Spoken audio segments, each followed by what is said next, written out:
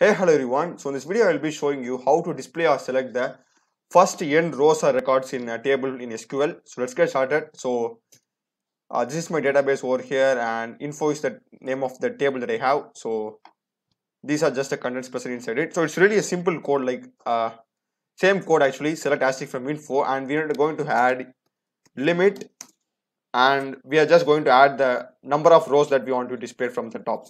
So let me say I'm going to display five rows. Okay. So basically this will display the top five rows of my table, which are one, two, one, two, five, three, four. This one, two, five, three, four. These five will uh, of the rows will be displayed. So let me just select this and run it.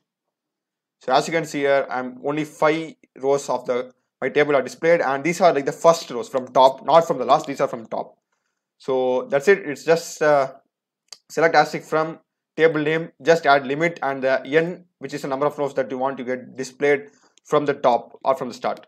So that's it for this video and i also done many other tutorials in sql and many other program videos in c c++ java python blender which is 3d animation and unity as well. So do check out the videos of my channel. Subscribe and support me. It would be really be helpful. And thanks for watching